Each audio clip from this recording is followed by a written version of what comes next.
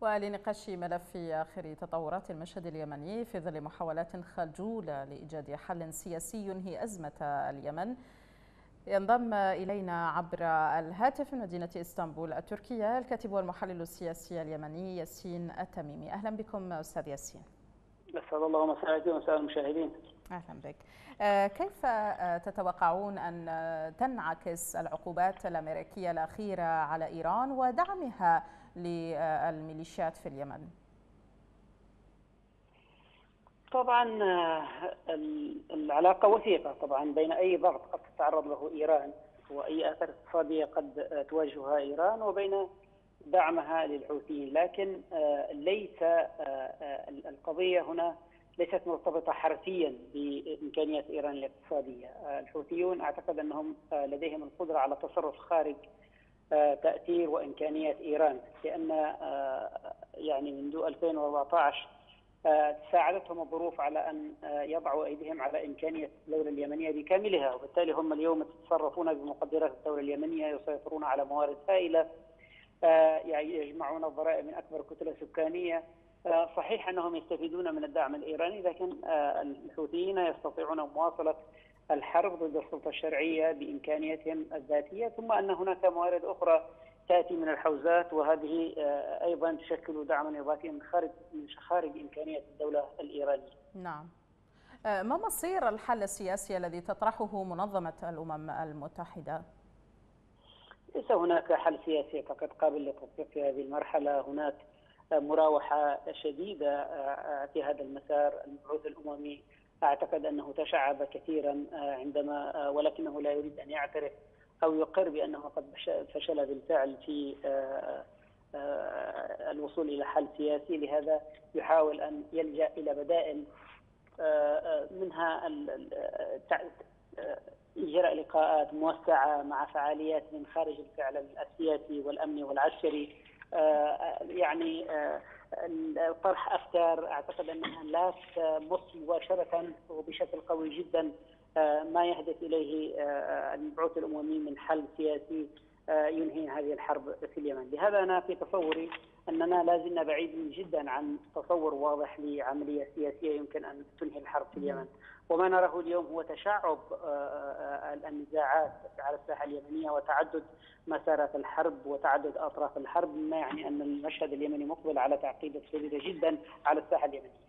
وتشعب المساعي أيضا أستاذ ياسين دخلت بريطانيا على خط هذه الأزمة وطلبت بعقد مباحثات وجمع الفرقاء إن صح القول كيف يفسر الدور البريطاني في الأزمة اليمنية؟ بريطانيا هي ممسكة بالقلم اليمن فيما يتعلق بمجلس الأمن للامم المتحدة وبالتالي هي التي تصيغ القرارات والتصورات المتعلقة بالأزمة في اليمن لهذا هي تؤدي دورها انطلاقا من هذا الموقع الذي تحتله في الأمم المتحدة فيما يتعلق بالملف اليمني. لكن أنا أعتقد أنه بريطانيا اليوم تحولت إلى يعني سفراء بريطانيا ومسؤولين بريطانيين تحولوا إلى سكرتارية مع المبعوث الأممي أو طاقم مساعد أو أشبه بما يسمى بالدعم اللوجستي لمبعوث أممي يكاد يخفق في دوره على على صعيد مسار السلام. بريطانيا لا تضمر نوايا حسنة فيما يتعلق بصياغة مستقبل اليمن، أعتقد أنها تتماهى مع أكثر المشاريع تدميرا وإيذاء لكيان الدولة اليمنية. وبالتالي لا نتفق بالمساعي البريطانية ولا يمكن أن تضيف شيئا من جهود الجهود المؤدية إلى إحقاق السلام. ما نراه اليوم هو أن هناك تماهي أو ربما غض طرف أو مباركه من بعض أطراف دولية لمساعي اليوم تهدف إلى تفكيك اليمن واستهداف الدولة اليمنية بشكل مباشر. نرى ذلك في محافظه الجنوب، رأيناه في عدن، رأيناه في أبيان، رأيناه في سقطرى. وهذا يدل على أن يعني افق السلام لا يزال مسدودا حتى هذه اللحظة. يرى البعض أن الأزمة تشعبت بعد الخلاف بين معسكر الشرعية ومحاولة المجلس الانتقالي للعب دور المشتت إن صح القول. ما الأوراق التي يمتلكها اليوم الرئيس هادي في طريق حل الأزمة؟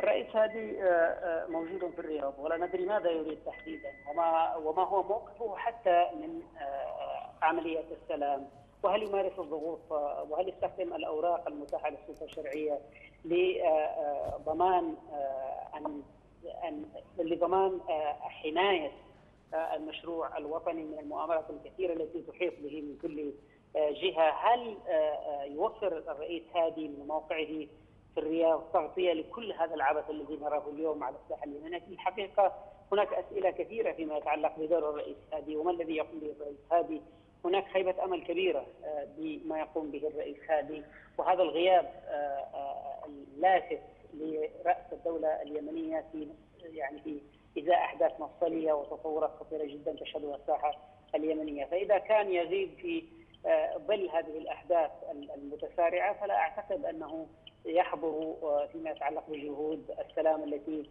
يمضي فيها المبعوث الأممي بإخفاق كبير. شكرا جزيلا لكم الكاتب والمحلل السياسي اليمني ياسين تميمي. كنت معنا عبر الهاتف من مدينة إسطنبول التركية.